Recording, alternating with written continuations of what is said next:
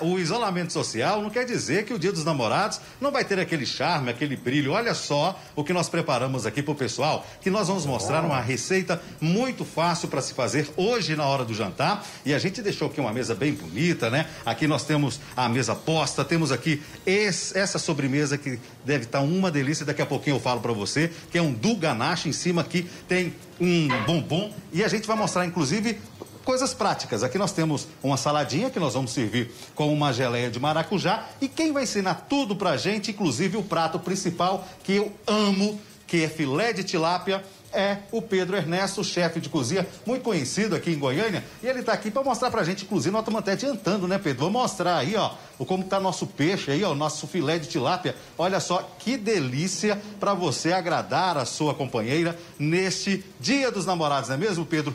Dá para a gente fazer uma receita muito prática para o dia de hoje especial, né? Bom dia. Bom dia, bom dia, Mariana. Sou seu fã, Mariana. Bom dia a todos Obrigada. de casa. É, hoje a gente vai ensinar para vocês a fazer algumas coisas que tem em casa mesmo, poder fazer o Dia dos Namorados acontecer. Não tem problema, não tem, não tem medo, quem não tem o que fazer. É, eu vou estar ensinando para vocês uma entrada, prato principal e sobremesa. Agora eu vou mostrar aqui, o, o, Pedro, que nós já começamos a preparar um pouquinho, né? Que televisão tem que ser um pouquinho mais dinâmico. Ali nós temperamos um filé de tilápia que você pode comprar em qualquer supermercado, apenas com sal e pimenta do reino, não é isso? Um pouquinho de azeite e a gente deixa aí no, ah, é, no bafo, né? Para que ele possa cozinhar, não é isso?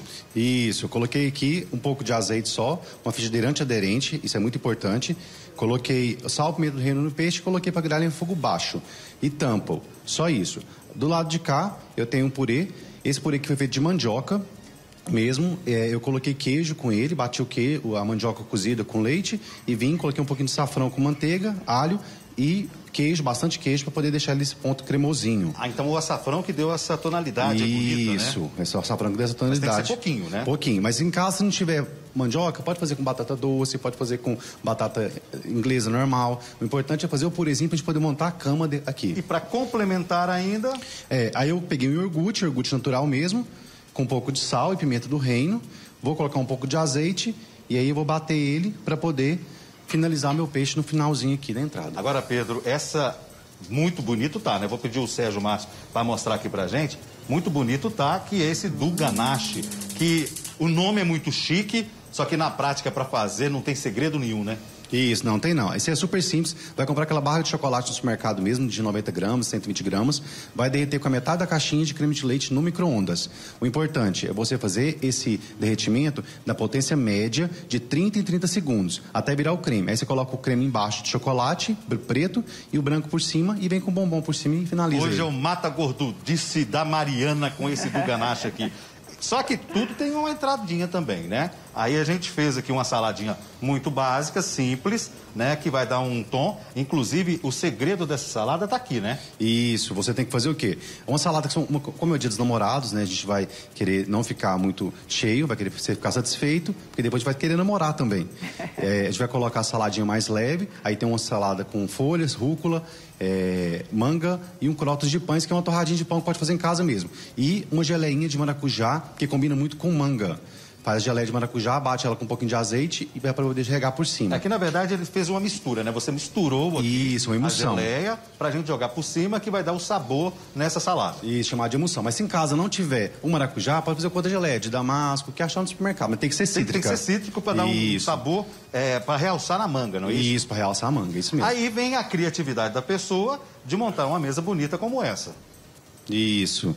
É, pode utilizar, não precisa ser, flores, né? No caso de ter que ser de cactos aí para poder montar, que depois pode utilizar. Vai mais econômico. Vai mais econômico, fica mais bonito Agora, também. quanto fica uma receita como essa, onde eu posso fazer, a minha companheira pode fazer, para o dia especial dos namorados? Porque parece que é tudo muito barato, né? Sim, sim. É bem, bem coisas que a gente tem em casa mesmo para poder comprar. Você não vai gastar mais que 25 reais, 30 reais para poder fazer uma sobremesa para duas pessoas. Agora queria que o Sérgio mostrasse aqui também, Mariana. Olha só, você quase não gosta, hum, ó. Sabe o que, que, é isso aqui? Tô salivando aqui, Douglas. O que, que é?